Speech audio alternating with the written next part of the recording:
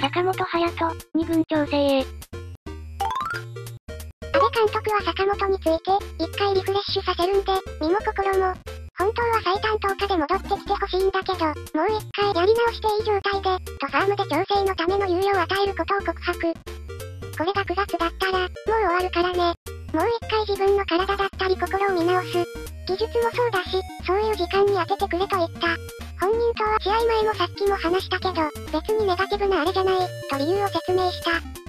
それでも当の坂本本人は、リフレッシュとか言っている場合じゃないし、しっかりね、ちゃんと良くなるように、と危機感を募らせ、早期復活を誓った。坂本リフレッシュさせるなら門脇もさっさとリフレッシュさせればよかったのに、大城坂本より打撃深刻だったろ。今も今日打ったとはいえ深刻気味だし。坂本中山交代はほぼ確定やろね。浅野とかまだあかんのか。浅野の打率はひどすぎる。浅野は腰痛の持病があるからな手術成功して今年完治したとはいえ、勝手に体が動いた時にぎっくり腰になったらシャレにならん。今年は2軍でできるだけフル出場が目標だろ。坂本落とすんなら、中田とかあげるのかな。中田ってまだ全然だぞ。安倍だからどうせ憂い中ポムをあげるんだろうよ。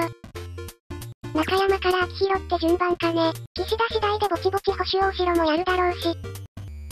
昨年も散々丸は終わったって書き込みあったしな。坂本はまだ諦めんでいいよ。ここで終わる選手じゃないよな。今の苦しみも良い経験にして戻ってきてまた笑顔でプレイしてほしい。